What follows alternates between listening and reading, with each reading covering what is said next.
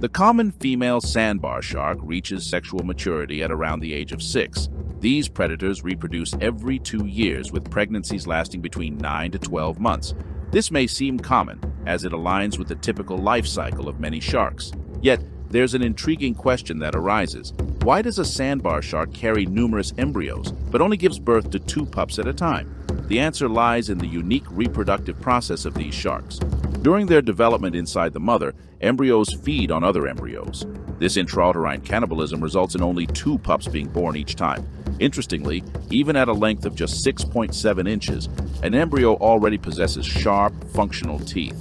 When a sandbar shark pup is born, it measures approximately 3.3 feet in length and is fully equipped to live independently.